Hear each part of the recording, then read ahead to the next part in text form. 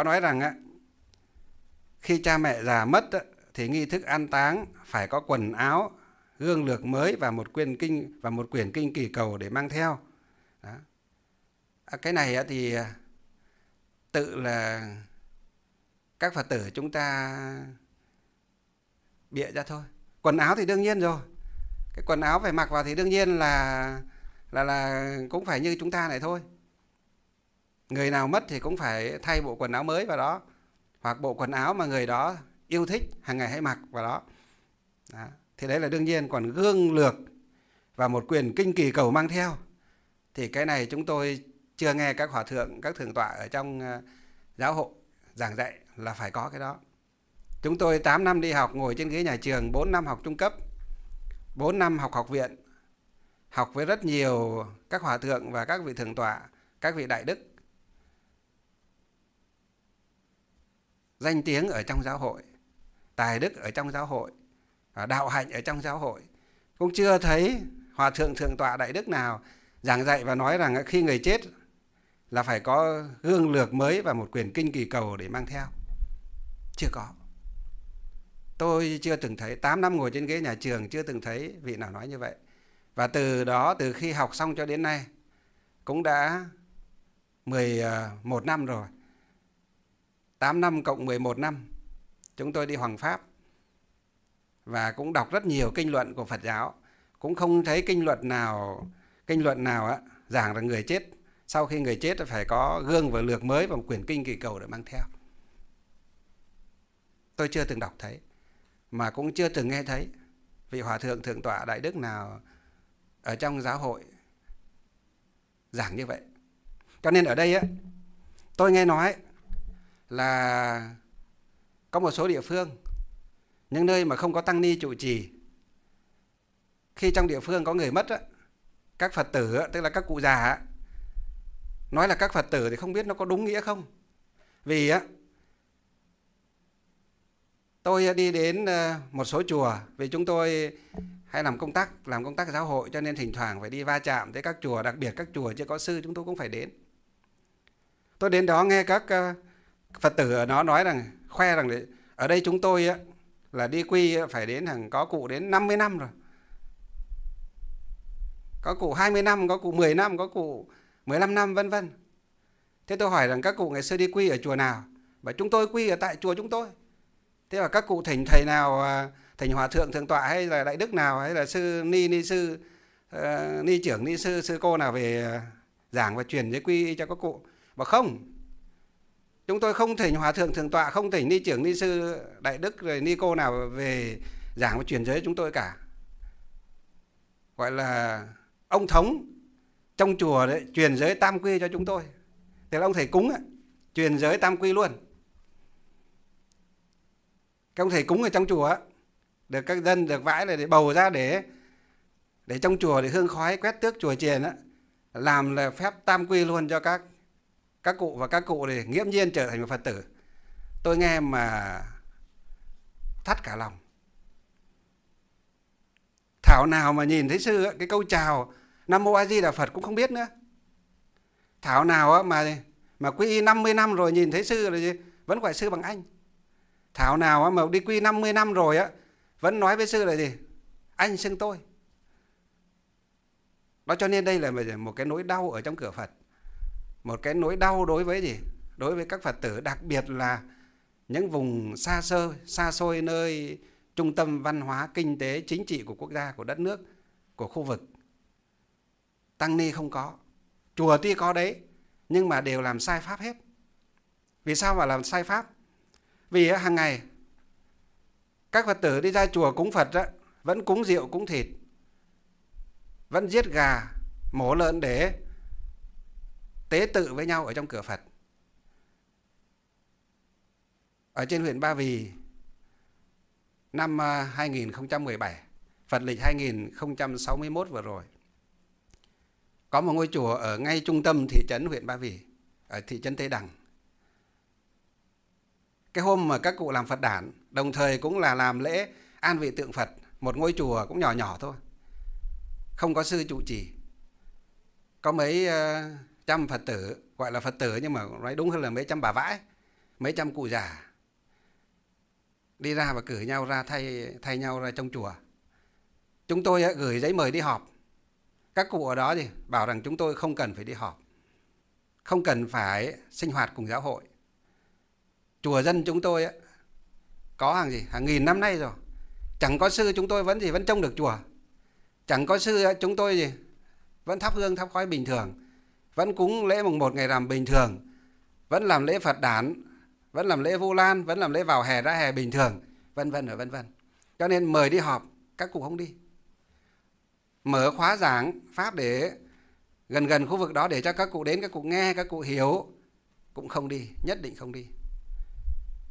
Có một vài phật tử và vài cụ trẻ trẻ đi về các cụ già già nói rằng các bà mà đi ra mà nghe mấy ông sư, bà sư nó cha nó truyền giảng cái giáo lý đạo Phật các bề bà về các bà làm loạn chùa lên á thì chúng tôi chúng tôi đuổi ra khỏi hội vãi của gì? Của chùa. Khi chết đấy chúng tôi không đến đưa ma. Và khi chết đấy, chúng tôi không cho mượn phướn mượn cầu thì bà chỉ có vào địa ngục thôi. Cho nên lo. Đi một lần lần thứ hai không dám đi nữa vì sợ các cụ già là đuổi ra khỏi hội vãi. Vì khi chết là sợ các cụ già không cho mượn phan mượn phướn để để bắt cầu để về tây phương cực lạc thế giới chính vì cái sự u mê đó sự vô minh đó cái sự ngã mạn đó. Cho nên đã không biết lại còn càng không biết thêm. Tuy sống gần chùa ở trong cửa phật đó nhưng cái ờ, lễ phật đàn vừa rồi các vị biết không? đang trong cái lúc mà thịt lợn nó rẻ đó vừa qua cái, cái chúng cái dịp đó thịt lợn nó rất là gì rất là rẻ nó xuống thậm chí còn rẻ hơn cả một cân thịt lợn một cân ờ, ờ, hơi lợn nó còn rẻ hơn cả một cái cân gì? Một cân rau xanh ở ngoài chợ. Rẻ hơn cả một cái cân khoai tây ngoài chợ. Cho nên á, cái hôm đại lễ Phật đản Phật lịch 2561 tức 2017 vừa rồi, cả làng họ giết ba con lợn, giết tại chùa để để làm lễ Phật đản. Chuyện có thật 100% ngày đản sinh của Đức Phật. Mà họ giết ba con lợn, mời cả làng ra gì để để dự lễ Phật đản và ăn cơm, mở tiệc ở tại gì? Tại trong cửa chùa. Đó, đây là một cái nỗi đau của Phật giáo. Mình muốn hướng đạo cho họ biết, mà họ nhất định không nghe. Mời họ đi họp, họ nhất định không đi.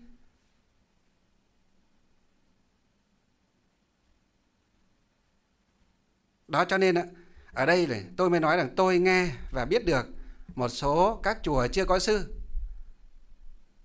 Đặc biệt ở khu vực phía bắc của Việt Nam chúng ta này. Đặc biệt là những ngôi chùa vùng nông thôn, vùng xa nơi trung tâm văn hóa kinh tế chính trị của của quốc gia, của khu vực. Cho nên các già, các vãi, các cụ cao niên, tuy đi chùa đó nhưng mà không hiểu gì về về Phật pháp cả. Vì vậy á, ngày xưa, khi có người chết á các cụ ấy thường là gì? mua một cái bộ quần áo gọi là bộ quần áo lục thù hải hội. Lục thù hải hội. Lục tức là sáu. Thù tức là chỉ cho cái cái cái cái ờ, cái đơn vị cân đong đo đếm ngày xưa. Tức là thù nó rất là nhẹ. Nó nhẹ hơn cả một hoa chúng ta thì thường là gì? Một tấn một tạ. Đấy, nói theo cái danh ờ, từ từ từ bây giờ là một tấn xong đến tạ xong đến yến xong đến cân xong đến lạng xong đến hoa. Hoa xong gì? Xong đến thù. À, tức là để dưới cả một hoa nữa. Sáu thù tức là chưa được một hoa. À, chưa được một hoa. Thì cái áo trong trong kinh Phật nói là cái áo của chư thiên trên cõi trời đau lợi á. Người của chư thiên rất cao rất to và rất lớn. Áo thì mặc kín người che thân kín người từ gì? Từ trên kín thân thể như vậy. Nhưng cái áo của chư thiên gì? Nặng chưa tới 6 thù. Mà nặng nhất cũng chỉ chỉ 6 thù trở lại. Thế cho nên chúng ta mới nói là chư thiên. Mà cái áo nhẹ như thế, thân thể cũng nhẹ như vậy, cho nên họ mới bay lướt ở trên gì? Trên trời dễ không như vậy. Cho nên ở đây gọi là cái áo của chư thiên, lấy cái tích là áo của chư thiên là áo lục thù. Người to nặng như vậy, to cao như vậy, xin lỗi, to cao như vậy mặc cái áo kín người nhưng mà chưa nặng tới sáu thù và khi mà nghe trong kinh Phật nói như vậy, có một số những ờ, thậm chí là có những vị sư. Mà những vị sư ở đây thì nói thật là đúng danh nghĩa là cũng chẳng phải là sư luôn, vì cũng chẳng biết cái gì. Chúng ta biết là ở miền Bắc chúng ta có một thời gian, đặc biệt là từ thời gian chống Pháp và chống Mỹ một thời gian khá lâu. Nhân dân còn gì, không có điều kiện đi đi học. Thì huống chi là người xuất gia lúc đó, không mấy người được đi học. Đó. người dân ở ngoài đời không được đi học thì chú tiểu ở trong chùa thì cũng chẳng có cơ hội nhiều để đi học cả. Mà làm chú tiểu không được đi học thì già biết cái gì đâu. Ngoài trong ngôi chùa, sáng chiêu chiều mộ gõ mó tụng kinh. Trong chuồng nuôi mấy con lợn, mấy con gà nữa và có thêm con trâu và con bò để gì để làm à, làm làm à, cái công cụ lao động làm sức kéo. Vì cũng cấy mấy xào ruộng như người dân thôi. Ngày xưa khi chúng tôi mới đi xuất gia chúng tôi nhớ là vào thăm một cái sư cụ ở trong trong trong một cái chùa ở trong à, liệp tuyết, quốc oai. Cụ năm đó của hơn 80 tuổi cụ ốm. Năm đó tôi nhớ là năm năm 98 tôi mới bắt đầu vào học trung cấp được một năm, sang năm thứ hai. Thì tôi về đi về đi thăm sư cụ về với cùng các thầy ở trong ờ, ban đại diện Phật giáo huyện Quốc Hoa. Cụ đã khoảng hơn 80 tuổi. Đi đến thì cái chùa của cụ vào trong chùa của cụ thì có rất nhiều chậu và xô ở trong đó. Tôi hỏi là thế thế bạch cụ chùa của cụ làm sao mà để nhiều chậu nhiều xô trong này thế? Thế cụ mới bảo là ôi rồi sư ông à. Thế cụ gọi tôi là sư ông của bà sư ông à. Đấy mới đêm hôm qua nó mưa thì, thì con ờ, mang chậu mang xô ra con hứng ờ, nước nó nó, nó dột xuống. Sáng nay thì bận quá cũng chưa vội để cất đi. Đấy con chỉ mong cả đời tâm nguyện của con chỉ mong làm sao đảo được lại cái ngói thôi. Con cũng không mong là làm là được cả ngôi chùa mình chỉ mong đảo lại cái ngói thôi nhưng mà cũng không có tiền không đủ tiền để mà làm. Mấy năm nay ờ, chăn nuôi ờ, thì thất bát. Cụ nói như thế mấy năm nay chăn nuôi thì thất bát. Thế tôi mà hỏi cụ chăn nuôi cái gì mà cụ bảo mấy năm nay chăn nuôi thất bát? Cụ bảo đấy nuôi mấy con gà thì cái đến mùa đông là nó chết hết nuôi mấy con lợn thì mãi nó chẳng lớn cho. Thế tôi bảo, cụ cũng nuôi gà nuôi lợn à? Bảo có chứ thầy, có chứ sư ông và không nuôi thì lấy cái gì? Đã nhoan bao nhiêu năm nay rồi mà vẫn chưa đủ tiền để đảo lại ngói đấy. Và tôi ra đằng sau thì đúng cụ có bốn năm con lợn, nó cứ bé bé, coi quài rồi. bảo là có một bà vãi, bà ở đây bà vãi hộ, bà ở bà chăm và chăm sóc cụ và bà cũng rồi chăm sóc luôn mấy con lợn và cả cái đàn gà đấy có hơn chục con đấy, cả con gái à, con mái con trống rồi mấy con gà con cái loan toàn ở ngoài sân cứ tưởng là gà nhà người ta đến. Nó bay vào chùa mà hóa ra là gà của nhà chùa gà của sư cụ nuôi. Đó. cuộc sống ngày xưa vất vả như vậy. Các cụ không được đi học đi hành. Cho nên một thời gian họ bảo là phải à, một thời gian chúng ta biết là trước năm 81 đang còn trong cái thời gian bao cấp thì vận động là toàn dân là chăn nuôi cho nên chùa họ cũng giao cho chỉ tiêu là gì? Nuôi mấy con lợn. Mà khi nuôi được lớn lên một cái thì không phải nhà chùa không đem bán mà đem gì? Đem uh, sung uh, công quỹ ngân khố của thôn của xã. Và họ lại tính là bao nhiêu cân lợn hơi đó thì được bao nhiêu cân thóc. Đó, đổi ra quy ra thóc hết. Đó. Cái thời đó nó thế. Cho nên các cụ bây giờ cái thời đó quen rồi sau này sau năm 1981 rồi. Sau năm 75 rồi sau năm 1981 rồi thậm chí là đến năm 1998 khi chúng tôi đến cụ vẫn cứ nuôi như vậy. Đó. cho nên đấy là nói về cụ nói về một số các chùa nữa. Tôi biết là tôi đến một cái ngôi chùa. Ngôi chùa đó ngày xưa tôi đi học trung cấp tôi đến ngôi chùa đó. Sư cụ ở đó chính là người gì? sản xuất áo lục thủ hải hội để bán cho các vãi và bán đi các chùa khác ở, ở quê. Thì khi tôi đi học tôi để nghe hòa thượng ờ, chủ hương với lại hòa thượng pháp chủ ngài dạy rằng không được cho các phật tử, khi chết không được cho các phật tử mặc áo lục thủ hải hội để chôn xuống dưới dưới huyệt. Mặc như thế phải tội. Thì hòa thượng bảo vì sao? Vì ở trong áo đó họ in cả hình phật, hình bồ tát và những câu chú của phật, của bồ tát vào đó. Cho nên cấm không được cho các phật tử mặc để chôn xuống dưới dưới huyệt. Và hòa thượng giải thích rằng vì sao lại như thế? Vì chúng ta biết rằng đối với tranh ảnh tôn tượng kinh sách của Phật là pháp bảo để cho chúng sinh á, và chư thiên á, từ hàng thiên long bát bộ và chúng sinh á, nương vào đó để để cung kính để đỉnh lễ để phát khởi chính tín phát khởi bồ đề tâm. Nay chúng ta vì cái thân hôi thối của mình mà đem mặc vào là đem chôn chúng ta biết là bình thường còn sống. Các vị cứ thử đi xem các vị cứ mặc cái áo lục thủ hải hội bình thường thì tất cả mọi người đi chùa, ai cũng mặc quần áo nâu hoặc quần áo lam. Thế tự nhiên phật tử làm một bộ quần áo gì lục thủ hải hội mặc cái áo lục thủ hải hội như vậy vào xem. Chắc chắn là mọi người sẽ gì? Sẽ sang sờ chán mình xem có ấm đầu hay không. Tức là người có bình thường hay không, hay là bị thần kinh hay bị điên, bị rồ đó. Chắc chắn rồi. Hoặc là mình đi chợ đi ra ra ra chợ mua bó rau hay mua gì? Mua chút thức ăn cho chồng, cho con, cho người thân mọi người thì ăn mặc bình thường, mình chúng ta mặc cái áo lục thoại hội đó đi ra mua đó, họ sẽ bảo gì bảo chúng ta chắc chắn phải điên, chứ không phải nghi ngờ gì nữa. Ở thế gian họ còn gì? Còn đánh giá người ta như thế. Còn hướng chi xuống dưới kia là gì? Diêm vương. Nghiêu đầu ngục tốt. Thấy chúng ta gì? Bất kính với gì? Với phật, với bồ tát. Dùng cái áo có gì? Có hình phật và bồ tát để mặc lên trên người. Như vậy là chúng ta bất kính với phật và bồ tát chúng ta cứ xem cách đây mấy năm về trước à, tôi đọc một cái bài báo. Ở bên mỹ có một cái hãng thời trang. Nó may quần áo phụ nữ đó, quần áo con của phụ nữ đó. Nó may hình phật và bồ tát vào cái quần áo con của phụ nữ. Và cả thế cả cộng đồng tăng ni phật tử trên toàn thế giới lên lên án cái công ty đó và kêu gọi tăng ni phật tử trên toàn thế giới tẩy chay công ty đó kêu gọi tất cả những người yêu chuộng hòa bình và những người có niềm tin đức tin tôn giáo không chỉ Phật giáo mà cả Thiên Chúa giáo, cả gì các tôn giáo khác như là Hồi giáo, vân vân ở trên thế giới đều tẩy chay không chỉ cái mặt hàng của công ty đó mà tẩy chay tất cả các mặt hàng của công ty đó và không bao lâu công ty đó bị suy sụp và phá sản. Cái ông uh, chủ tịch hội đồng quản trị phải nhảy từ lầu 20 xuống đất để tự tử. Trắng tay. Đấy là quả báo gì? Quả báo coi thường cái đức tin tôn giáo của những người có đức tin tôn giáo ở trên thế gian này. Đó. Đấy là cái quả báo đấy. Quả báo hiện tiền ngay trước mặt.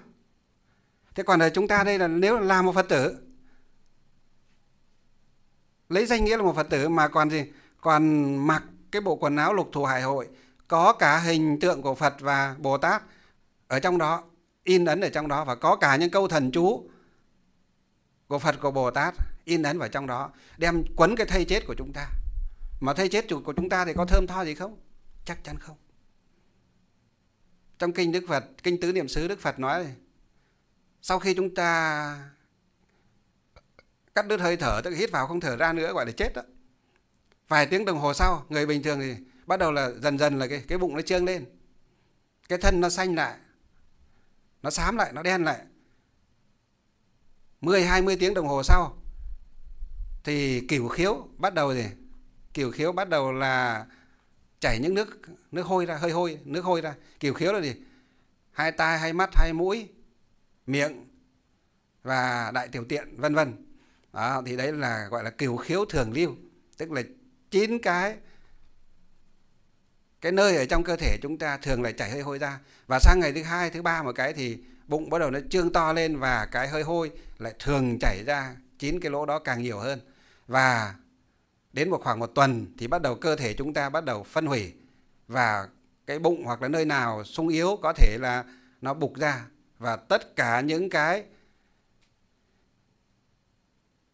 sự bẩn thỉu nhất ở trong thân thể của chúng ta thấm hết lên hình tượng và thần câu thần chú của Phật được in trên cái áo lục thù hải hội đó. Và như vậy các quý vị hỏi rằng rồi quyền kinh kỳ cầu nữa. À, nói cả quyền kinh kỳ cầu nữa thì cho đặt vào tay. Cầm lấy quyền kinh kỳ cầu đó. Và tôi cũng nghe một số các à, cụ già xưng là danh nghĩa Phật tử, tôi gọi là xưng là, là danh nghĩa Phật tử, nhưng thực tế họ không phải là Phật tử. Vì họ gì? Khi học quy tam bảo là do mấy ông thầy cúng, gọi ông thầy thống ở chùa không có sư, ông thầy thống ông lập đàn, ông ông lên ông lễ Phật, ông truyền giới cho. Ông thỉnh Phật xong truyền giới cho. Ừ.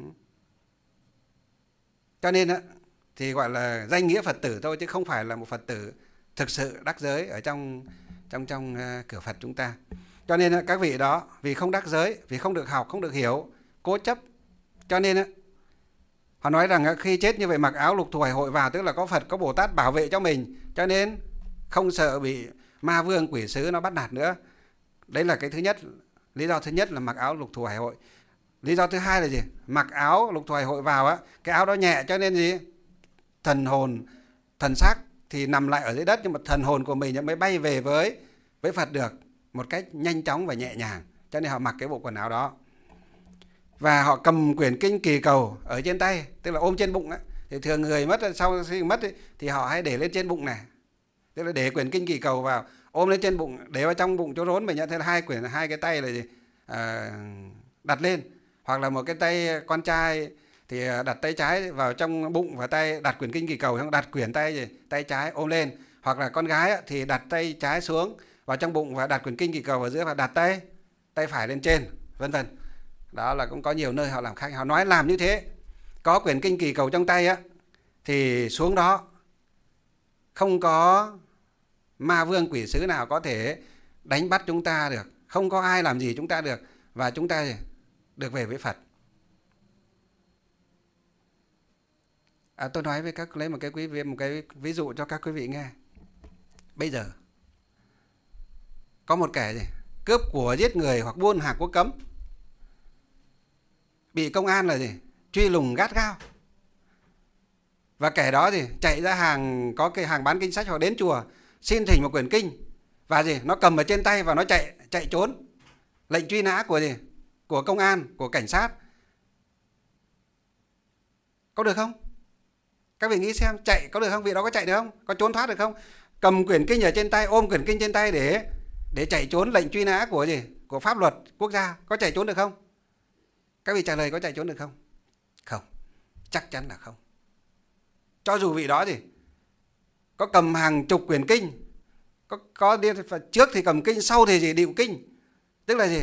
Điệu tất cả một cái một cái hòm kinh ở đằng sau nữa để chạy trốn để mong rằng á, mình có kinh ở đây rồi thì sẽ chạy trốn được pháp luật quốc gia. Không được.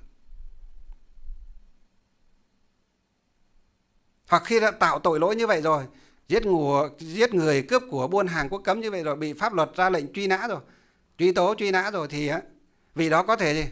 Đem mặc cả sa cạo tóc vào chùa cũng không thể trốn được.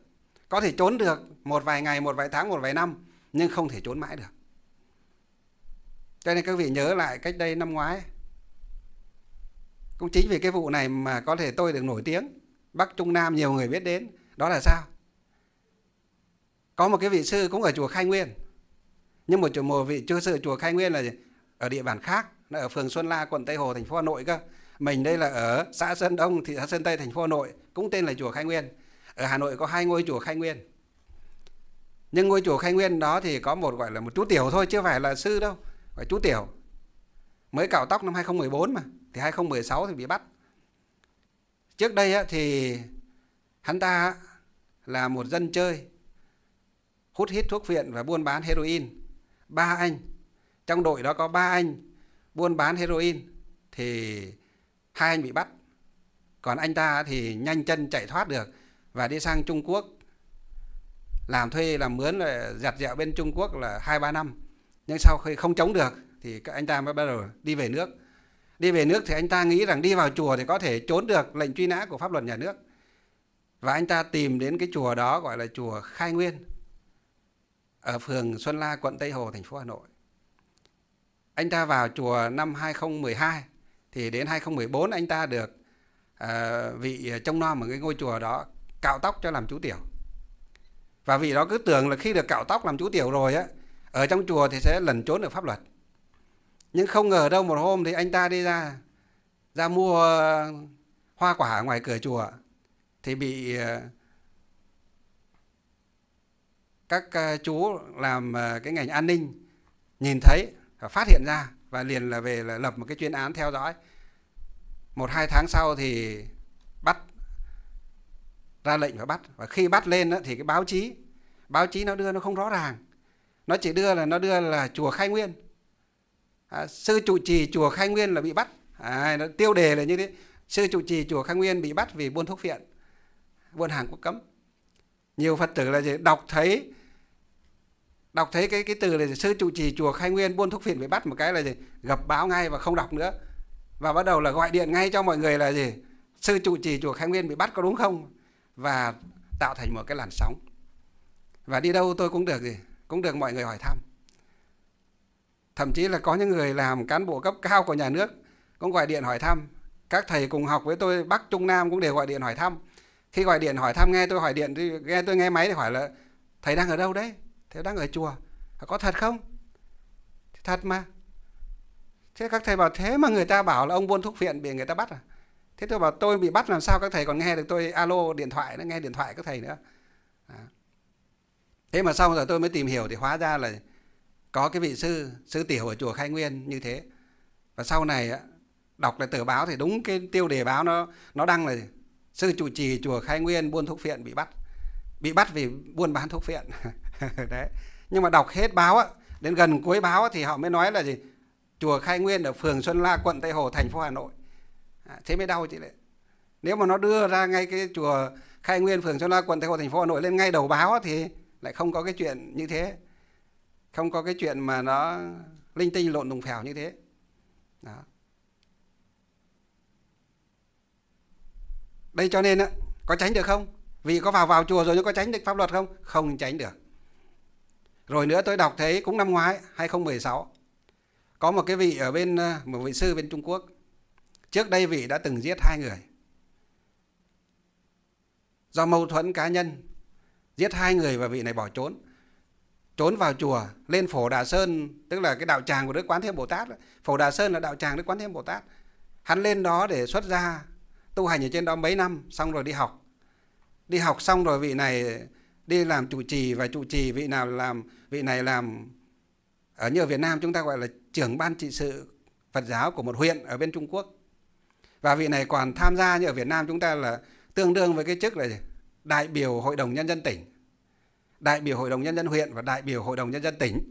Đấy, cái chức của bên kia thì nó khác với cái chức danh gọi bên Việt Nam chúng ta. Nhưng mà cái chức chúng tôi so ra thì nó tương đương với cái chức là đại biểu hội đồng nhân dân tỉnh và đại biểu hội đồng nhân dân huyện, thì vị đó tham gia cả hai cấp, đó là đại biểu hội đồng nhân dân huyện, đại biểu hội đồng nhân dân tỉnh. Và đặc biệt là về Phật giáo thì vị này là gì? Là trưởng ban trị sự Phật giáo một huyện, nếu mà so như Phật giáo của Việt Nam chúng ta. Và làm ủy viên thường trực của ban trị sự Phật giáo một tỉnh. Đó. Vị này trải qua hơn 20 năm sau, ngành công an cảnh sát Trung Quốc mới phát hiện ra, khi đọc thấy cái tin vị này á làm đại biểu hội đồng nhân dân tỉnh ấy, thì khi đó mới nhìn vào cái ảnh. Công an cảnh sát ở Trung Quốc nó nhìn vào cái ảnh nó mới thấy là gì? Ơ có một cái gì đó rất giống với cái vị cướp của giết người hơn hai năm hơn 20 năm trước đây. Và họ lập một cái chuyên án để theo dõi. Khi theo dõi thì mới biết là gì? Hắn ta chính là gì? Con quỷ đội lốt gì? Đội lốt thầy tu. Và hơn 20 năm sau hắn hắn vẫn bị pháp luật gì? Lôi ra để trừng trị đó, cho nên tôi mới nói lấy cái này, ví dụ này nói với các quý vị là, cho dù á, sống ở trên đời chúng ta không làm việc thiện, cho dù á, có mặc áo lục thù hải hội thì chắc chắn là diêm vương ngục tốt vẫn hỏi như thường, mà thậm chí là còn cho thêm phải phạt thêm cho một cái tội là gì? Bất kính với gì? Với tam bảo. Phạt thêm cho một cái tội để do vô minh không chịu học hỏi. Thêm hai cái tội nữa bất kính với tam bảo và vô minh không chịu học hỏi, tức là ngu dốt mà không chịu học hỏi, cố chấp. Đó. Rồi một cái tội nữa đây, là coi thường pháp. Tức lấy kinh điển của phật để cho vào trong quan tài để chôn theo thầy thầy chết của mình. Đó. Cho nên là ở đây trả lời cái ý thứ thứ nhất của câu hỏi phật tử này. Và phật tử hỏi ý thứ hai là khi cải táng, tức là tục lệ việt nam chúng ta sau khi chết được 3 năm 4 năm năm rồi đó thì gọi là thay áo, sang cát đó, gọi là cải táng. Có nơi gọi là thay áo, có nơi gọi là sang cát, có nơi gọi là cải táng, vân vân. Thì người ta hay bỏ vào trong tiểu, trong quách vàng hoặc bạc để ngăn ma quỷ bắt nạt, việc đó có đúng không? Tôi xin trả lời là trong phật giáo chắc chắn không có dạy như thế. Còn ở tôn giáo khác thì tôi không biết, tôi không không bàn, tôi không nói. Nhưng mà xem vào cái, nếu mà y vào giáo luật của đức phật thì chắc chắn không có chuyện là con người ta sau khi chết chết rồi mấy năm sau cải táng thay nhà mới vân vân đó tùy theo cách gọi. Mà cho vàng bạc vào trong đó thì ma quỷ không bắt nạt chắc chắn không có chuyện đó. Mà cho nhiều vàng bạc vào chỉ là cái tổ cho gì? Nếu mà cái bọn mà nghiện ngập á, bọn trộm cướp á, nó biết được là mình nhà mình nó cho khoảng vài chỉ hoặc một vài cây vàng vào trong cái tiểu quách á, thì có khi mấy hôm sau có xây mộ rồi nó cũng khoét mộ gì? Nó chui từ dưới, chui lên để nói gì? Nó lấy. Đó. năm ngoái tôi cũng ờ, đọc thấy một cái bài báo ở dưới, hình như hải dương hay sao? Bắt được một cái trường hợp này. Nghi là cậu ta đã phục gì? Mấy ngày mấy đêm trời mưa trời gió. Để đào, nhưng khi đào đào được đến gần sáng thì có người đi lấy nước ruộng phát hiện ra với lại về báo dân làng là vây và bắt bắt được thì nó nói rằng nó nghi là cái cái cái cái cái cái người chết kia. Nghe người ta nói là để cho mấy chỉ vàng vào trong ờ, trong trong trong miệng của người mất cho nên nó nó ra nó đào trộm để nó lấy, nó chỉ xin mấy chỉ vàng thôi chứ nó không có ý gì ác. Nó bảo xin mấy chỉ vàng xong nó thì nó lại lấp lại chứ nó không có ý gì ác. Vì nó bảo là nó đói lắm, nó không có tiền. Thế thôi, trong cuộc sống nó đói nó không có tiền thì bây giờ cho người chết như thế nó phí đi. Cho nên nó ra gọi là nó xin. Đó. Nguyện đem công đức này. Trang nghiêm Phật tịnh độ. Trên đền bốn trọng ân. Giới cứu ba đường khổ. Nếu có ai thấy nghe, đều phát tâm bồ đề. Hết một báo thân này đồng sinh về cực lạc. Nam mô tây phương cực lạc, thế giới đại từ đại bi, tiếp dẫn đạo sư a di đà phật.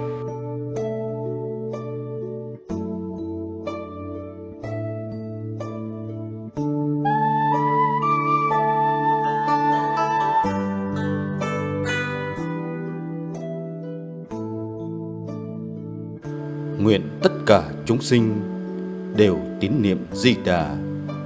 Đồng cầu sinh về nước cực lạc.